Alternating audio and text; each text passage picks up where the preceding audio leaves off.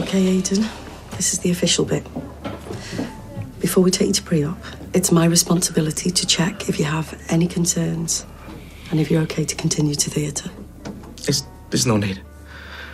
It's important for you to understand that if you've changed your mind for whatever reason, there'd be absolutely no judgment made. We'd never disclose it was your decision to pull the transplant.